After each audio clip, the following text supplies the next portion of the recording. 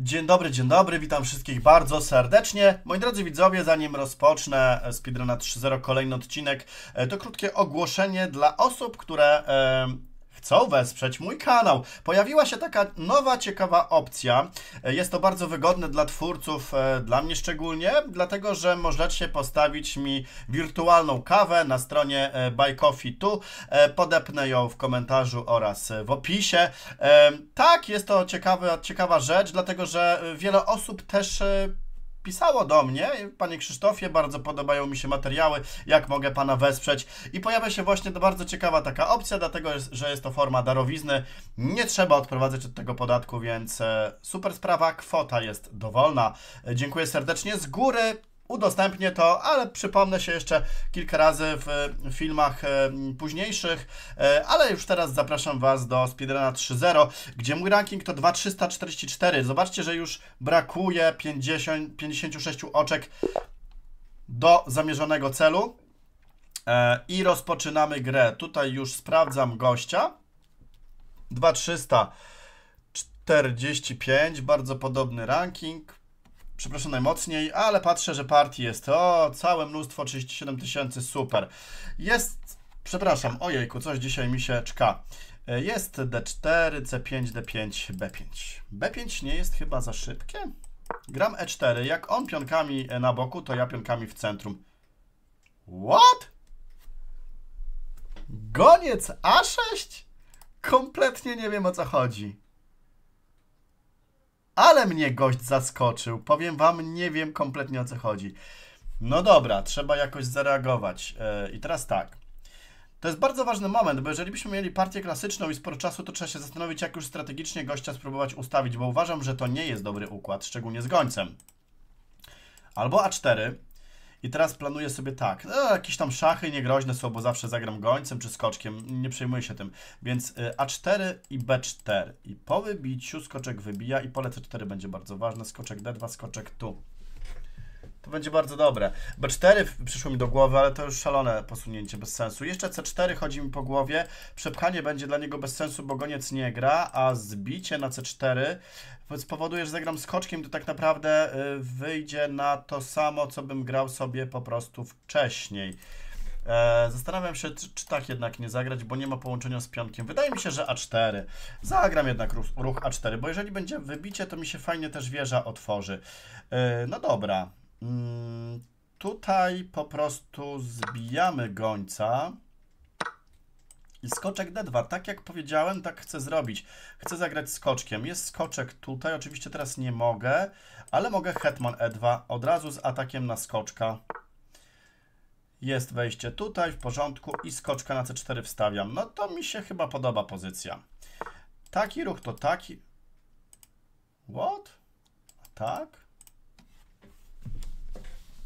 Powiem wam, naprawdę mnie bardzo przeciwnik zaskakuje. W ogóle może tak zagrać. Tutaj, ja chcę mu już mata mu dać. Tutaj on wybije, tak, on wróci. D6. Spróbujemy swojego szczęścia, tym bardziej, że wieża D1 może szybko wejść. Goniec G5, on D6 będzie musiał zagrać. Zagrał D6. Skubaniutki wyczuł sprawę, a teraz będę próbował go strategicznie ogrywać. Mam możliwość e, zagrania skoczkiem tu i tu. Kurczę, to naprawdę może być bardzo dobry pomysł. E, tutaj, e, jak on tutaj, to ja tak mam wtrącenie, więc nie tracę figury. On tu, ja, ja tu, on tu. Aha, skoczek będzie uwięziony. Może nie. Skoczek F3 chodzi mi po głowie. Bicie. No nie bardzo, jednak tutaj bicie tym pionkiem będzie u niego dobrze, bo tu trzeba mieć przełom przygotowany. Może w ogóle już teraz tak zagrać? To może być ciekawe w sumie, bo jak hetman stoi na E2, tu będzie groziło bicie E5, ale nie, no zaraz tu, to, to mam trzaśnięcie takie. Tak. Chwila, tak, tak.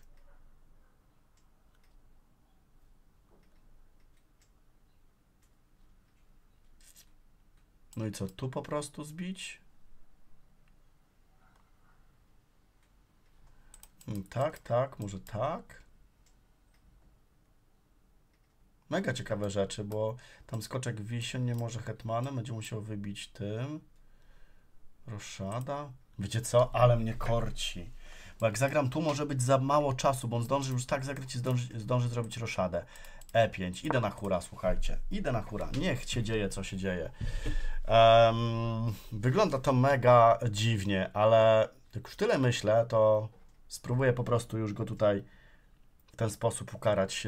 Choć strategicznie można było też fajnie pograć. Naprawdę to jest dobra pozycja. Byłaby dobra pozycja. Nie wiem, jak teraz to jest oceniane, ale tak, jest bicie. No i co, jak zbiję tym, to nic nie mam, a jak zbiję tym, też nic. Nie, bez sensu chyba zagrałem. Tak, tak. No nic nie będzie.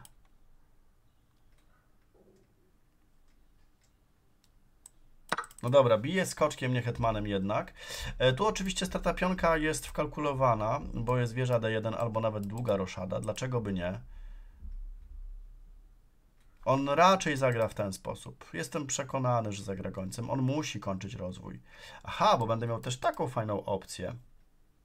On nie będzie mógł zbić, bo tam grozi mat. Więc będzie musiał się poruszać tak. A, a jak tak, to tak dostanie. A jak hetman d7. Ale ciekawa pozycja. Mega się zrobiła ciekawa. Powiem szczerze, naprawdę, jak on zrobi jakiś e, błąd, to już go mam praktycznie.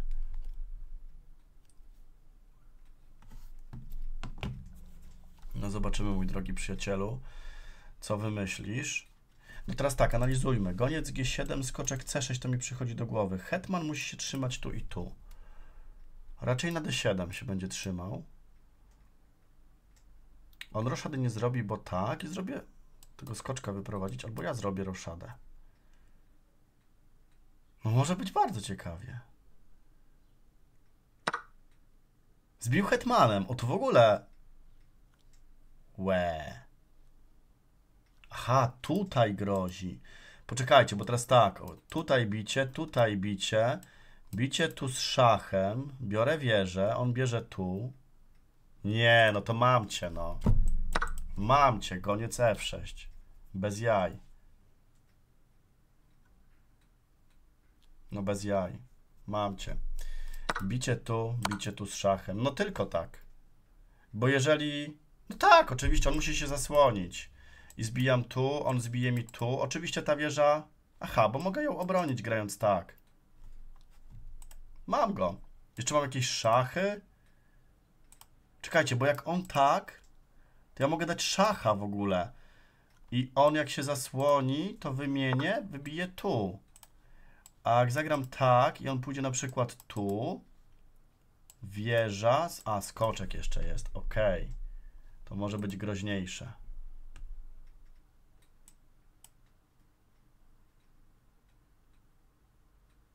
Ale chwilunia, a jakbym kolejność zmienił? Wieża D1 i on tak, to ja tak i daję mu mata.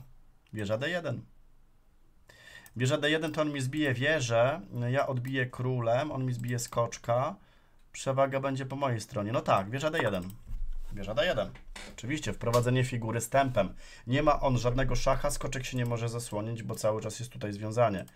Ale jazda, słuchajcie, no to chyba, nie wiem, jeszcze partia trwa, ale już zaliczam ją jako miniaturka w ogóle, gościa 2350. No i zamieszanie w debiucie chyba się udało.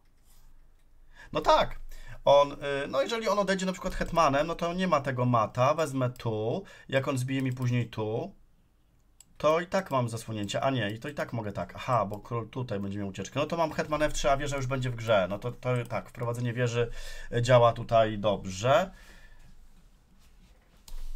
No bo teraz tak, bo pytanie, jak on mi zbije wieżę, nie zbił, no to dobra, no to bijemy wieżę tutaj. To nie ma się teraz nad czym zastanawiać. Oczywiście chwilowo mam wieżę więcej, ten skoczek prawdopodobnie y, zostanie odbity, ale to nie jest jeszcze takie łatwe. Chociaż nie, no goniec G7, ale to on i tak musi się zająć właśnie tym skoczkiem. Tędy poszedł, to ciekawe. Tak, w ogóle spróbować. W ogóle mogę wymienić hetmany grając tutaj. Nie no, ale skoczek F3, wyprowadzenie figury, e, bo też e, jest opcja taka, że tutaj mógł zagrać. Może zagrać tu, to nie jest już teraz groźne. Ok. Dobra, roszada. No to teraz w ogóle jestem w domu.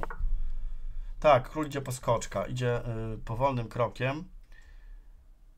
Tyle, że właśnie bardzo powolnym. Teraz muszę jakoś sprytnie pograć. Yy, to znaczy, ja zaliczam to już tak do zwycięskiej partii. To nie ma siły, że to jest coś złego tutaj. No w ogóle tak i tak może i wejść tutaj. No dobra, skoczek na H4. Po prostu skoczkiem na F5 wejdę. Będę atakował gońca, jeżeli król się zbliża do skoczka. Stępem wejdę, będę tam coś atakował. Tyle w temacie.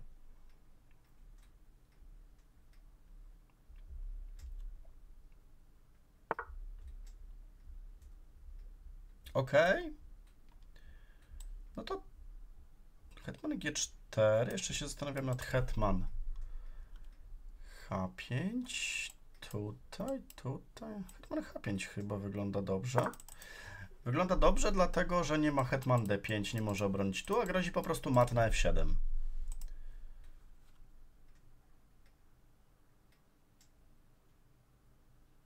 No dokładnie tak. Skoczek D4 niby zajmował tutaj pole. Ja teraz też y, po król na przykład G7 czy G8 mogę skoczkiem wybić na F7 i cały czas zachować wieżę więcej.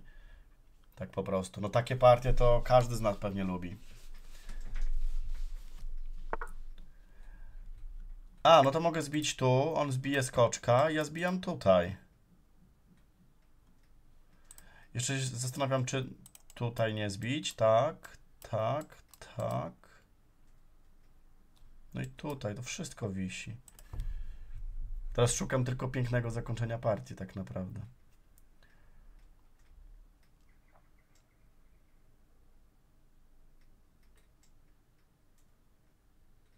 No dobra. Zbijemy na D4. Dam szach, on weźmie tutaj, ja zbiję tutaj. Figura więcej. Czy to była fanaberia z mojej strony? Nie, chyba.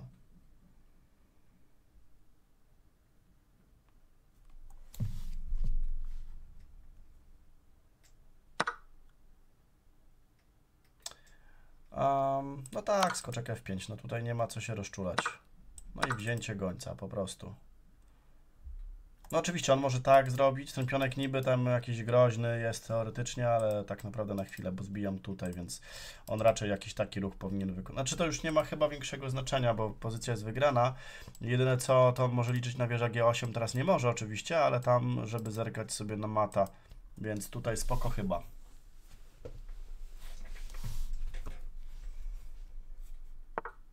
Mhm, wrócił sobie na E6, spoko. No to wracamy sobie na F5. Czysta figura więcej. Jasne, tutaj będzie opcja wieża G5, więc y, tak naprawdę co ja mogę? Mogę tak zagrać. A, skoczek H6 chyba wystarczy, bo on wieża G5 nie może, bo mam bicie tutaj. E, no, jakaś tam wieża G6, coś w tym stylu, tam opcje matowe będzie, ale to, to pod kontrolą raczej. Mm.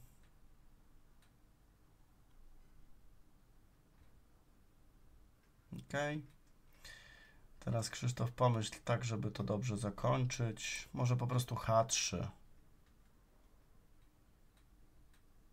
Może H3.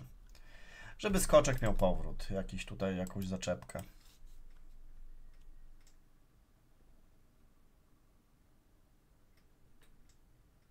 Aha, tutaj chodzi też o czas, bo on pewnie patrzy, że ja mam 3 minuty i robi się trochę mało czasu, ale nie, no tu na spokojnie już myślę, już bez, bez naprawdę, bez ciśnienia jakiegoś większego powinno się wszystko udać.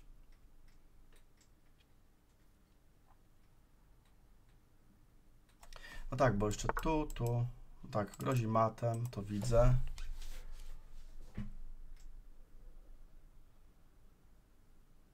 Nawet G4, chyba G4 jest spoko. G4 powinno być spoko. Bo i skoczek na F5 będzie miał dobrą platówkę. Wygląda to, y, oczywiście, zapewne wygląda to słabo, bo odkrywam króla, ale tu się nic nie dzieje. To jest bardzo dobra y, obrona. F5 też nie działa, bo mam bicie. Teraz mam tutaj takie bicie, tylko pytanie, czy tak zrobić.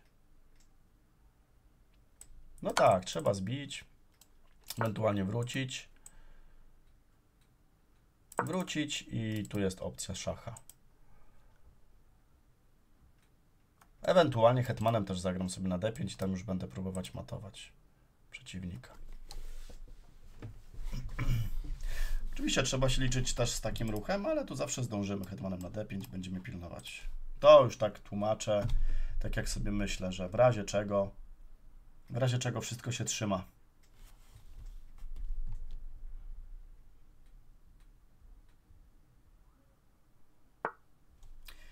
Dokładnie, więc hetman d5 się pilnuje, a przy okazji tu są jakieś opcje, taka jest opcja i tam hetman pałaszuje sobie po siódmej, ósmej linii. Centralizacja hetmana. Wszystko się zgadza.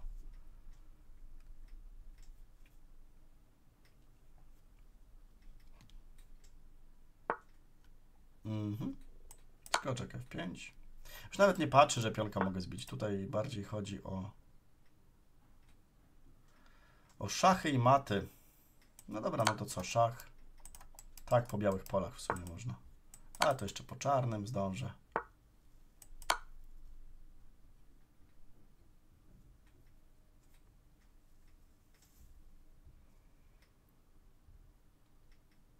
No. Tak, tak. A wiesz, jak G8 to tutaj mat.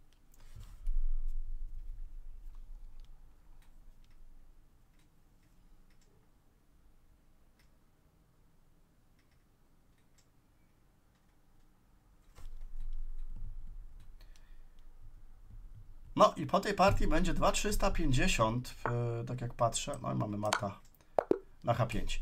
2352, moi drodzy, do 2400 jest niedaleko. Yy, zerknijmy sobie na analizę. Szybciutko.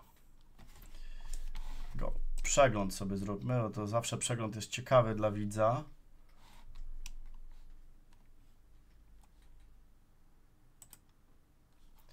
Ok. No właśnie, zobaczcie B5. Tak czułem, że ten ruch jest nie, nie, nie teges. E4. W ogóle ten ruch dziwny. No i jak pokazuje komputer, jak grać? Komputer w ogóle A4 nie bierze pod uwagę. Dziwne. Wyprowadzać figury, olać sprawę. No prawdopodobnie tak.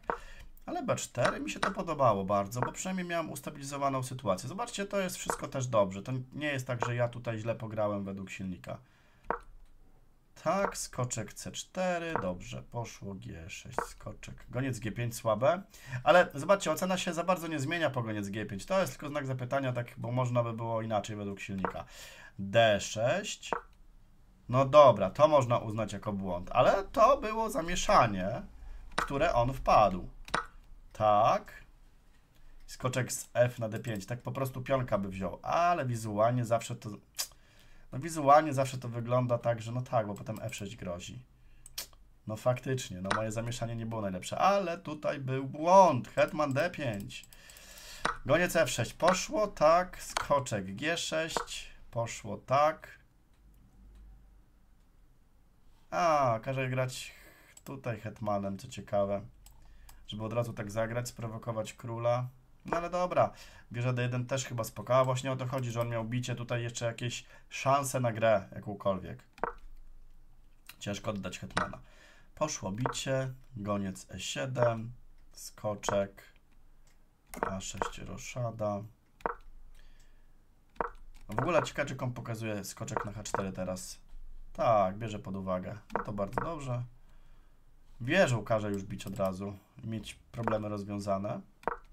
W sumie to na jedno wychodzi. Wieża D4 jest jak najbardziej. Skoczek daje szacha.